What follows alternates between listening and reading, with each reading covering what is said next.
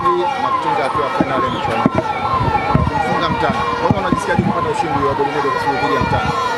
Ah, mimi katika karia yangu ya uafisa habari ah, ndo nadhani nimekuwa na tamba, najisikia furaha zaidi kucheza na Mtani kwa sababu nimemfunga mara nyingi zaidi katika mechi ambazo tumeshiriki ah, Simba na Yanga za misimu ya ligi,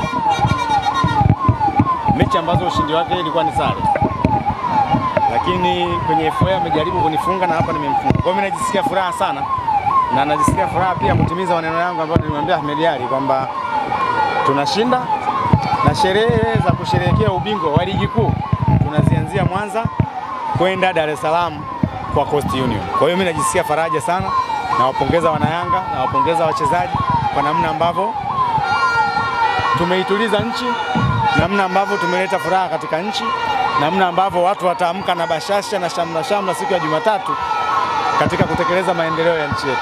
Hassan, nini siri ya mafanikio?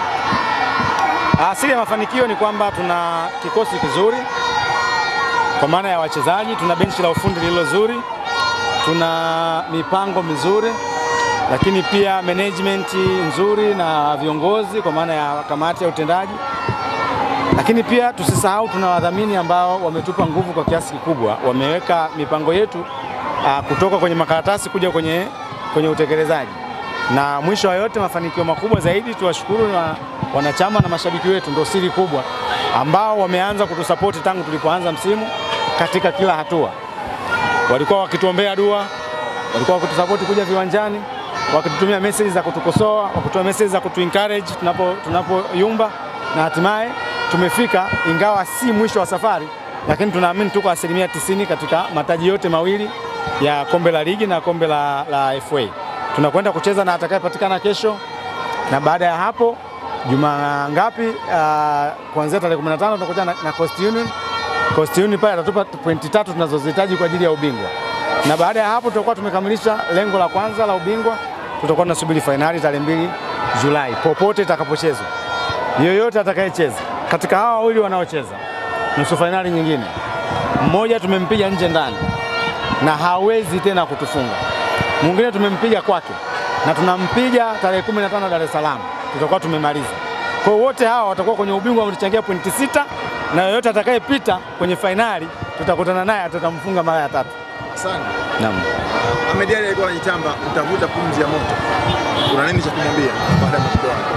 Kwanza nimpe pole sana mdogo wangu Ahmed Ally, nimwambie dabi yake ya pili amepoteza, ya kwanza tulitoa sare, lakini nilimwambia maneno yake ya pumzi ya moto haya ayawaambie watu wanaotoka nje ya nchi, sio Yanga.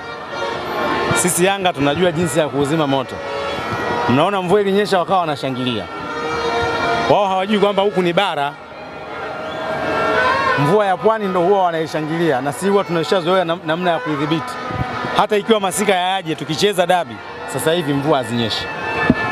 Huku bara mvua ikinyesha ina maana tofauti na wanavyofikiria wao. Kwa ile shangilia yao ile walikuwa wanashangilia maumivu. Kwa ndugu yangu Ahmed Ally, nimtakie safari njema ya kurudi Dar es Salaam, nimtakie maandalizi mema ya msimu mpya unaokuja kama ni usajili, na nimtakie maandalizi mema ya kalamu kutoa tamko rasmi juu ya nani anaondoka na nani ataingia, kama wanaanza na kocha au wataanza na wachezaji. Nimtakie kila la heri. Kwa, lineup ya Simba ulivyoiona kabla ya mchezo ilikupa kwamba mwanga ah, kupata matokeo haya, na pia je, Yanga walistahili kushinda goli moja tu kwa jinsi kikosi chenu kilivyo? Mimi sikuangalia lineup ya Simba na huwa sina tabia hiyo. Mimi nimeangalia lineup yetu. Nilivyoiona lineup yetu nikasema hawa leo mapema wanakaa. Tumeweka double striker ili kuwagawa wale mabeki wawili na tulifanikiwa, na kweli tume, tumewaua mapema. Simba na Yanga huwa ukiona goli nyingi zinatoka ujue kuna jambo upande mmoja, especially kwetu sisi. Wao wanajisifu kutufunga nyingi, lakini hawajawahi kutufunga nyingi kama hawajapita hawajazunguka mbuyu. Hiyo tunajulikana. yani? Yaani wewe unaweza ukaona kipindi kile wanasema wachezaji wetu sio na mara huyu anashika huyu anavaa kadi nyekundu hivi, umeelewa? Kipindi hiki cha nne moja unajua tena uh, mchezaji wetu akawa anakaba kwetu sisi, yani tayari washamchukua wako naye, kwa hiyo anacheza kama. Kwa hiyo kuna vitu ambavyo huwa wanavifanya, lakini tukisema twende uwanjani kabisa, mara nyingi sana hawa watu huwa hawatoki kwetu sisi. Mbundo na Saido Hamisi kwenye mechi leo, Sijui unamaanisha kuhamisi nini? Ah, performance yao, yaani mchango wao kwenye kikosi cha Yanga. Kwa sababu haukuwepo mchango wao, huwezi kuumisi. Mchango wa mechi ya leo unaonekana kwenye mechi ya leo tangu unavyoanza, na mchango wa mechi ya leo ulikuwa una, una, una watu 18 ambao mwalimu alipanga 11. Mtu ambaye unaweza kusema tumemmisi, labda kama aliingia akaumia akatoka, tunaweza tukasema, lakini wao hawakuwepo kabisa kwenye mipango ya, ya mpira wa leo. Kwa hiyo huwezi ukasema kama tumewamisi. Kwa hiyo tutazungumzia wale ambao walikuwepo kumisi mchango wao, wangekuwa sehemu ya kikosi tungesema, lakini kikosi kimeandaliwa kuzunguka wale waliokuwepo. Ndio maana unaona tunasema hata kama tungesema tunamisi hawakuwa na msaada tena tangu mwanzo wa mazoezi mpaka tunapokuja kucheza kwenye